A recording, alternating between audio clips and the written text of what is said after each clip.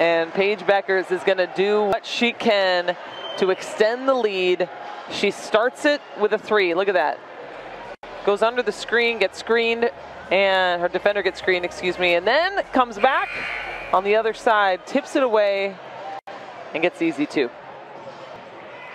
Was that five points in three seconds? Yes. Well, I would say about seven. Yeah, okay. Well, that's But- probably true.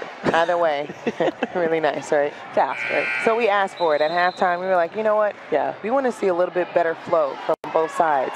Yes.